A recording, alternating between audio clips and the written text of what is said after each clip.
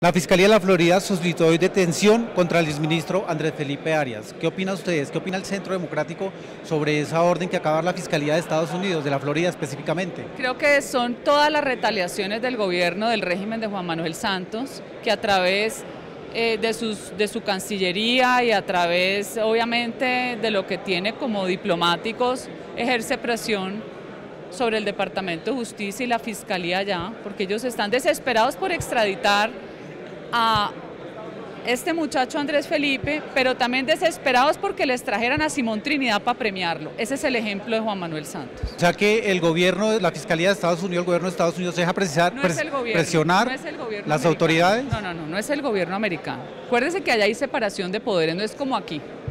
No.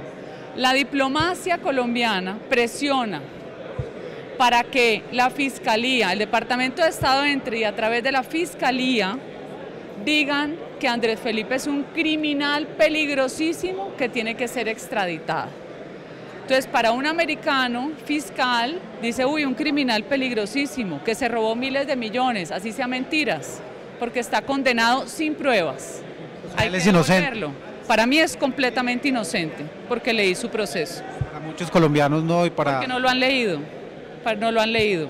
Un señor que utilizó un convenio que existe hace 30 años con el ICA, que es parte de la OEA, no es. Que debajo de él hubiera habido técnicos que robaran, es imposible para usted controlar 300 mil acuerdos. Imposible, físicamente. Como, como aquel presidente, todo fue a espaldas de él. Es que usted no lo puede hacer. Si usted es ministro, usted no puede controlar 300 mil acuerdos debajo suyo.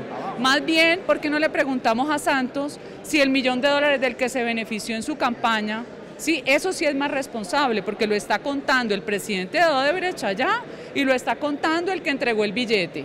Eso sí no es grave, ¿no es cierto? Entonces aquí la justicia también para unas cosas ve por un ojo y para otras por otro. Entonces toda esta presión la hace el gobierno de Santos diciéndole mentiras para que los fiscales allá crean que es un terrible criminal, mientras que me imagino que Simón Trinidad decían que era un gesto humanitario para que nos venga a enseñar derechos humanos a los colombianos. ¿Quién es? Jamás. Yo no.